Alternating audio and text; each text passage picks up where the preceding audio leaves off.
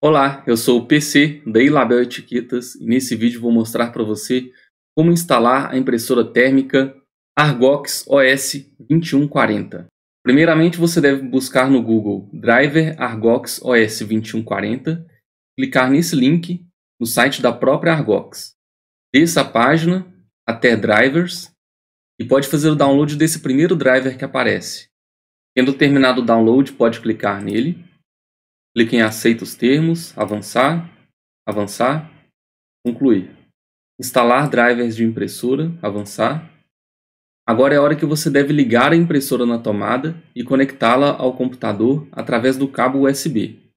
Lembre-se também de apertar o botãozinho que fica do lado dela, que faz ela ficar ligada realmente.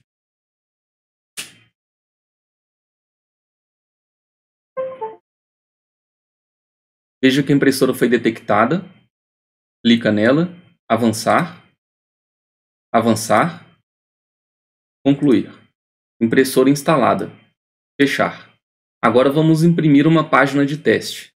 Vá até as configurações de impressoras do seu computador, selecione a Argox, gerenciar, certifique-se que sua impressora já está com etiqueta e ribbon. Eu já gravei um vídeo ensinando como coloca, vou deixar aqui no card.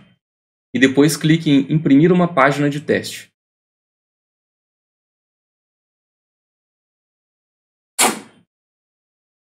Veja que foi impresso corretamente. Para calibrar a impressora, aperte o botão Feed até que a impressora comece a soltar etiquetas e então solte.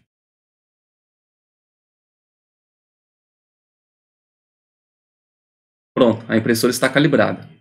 Se você vai imprimir arquivos no formato ZPL, que é a linguagem da impressora Zebra, é necessário que você atualize o firmware da sua impressora. Para fazer isso é necessário uma assistência técnica. A empresa onde você comprou sua impressora também pode te ajudar.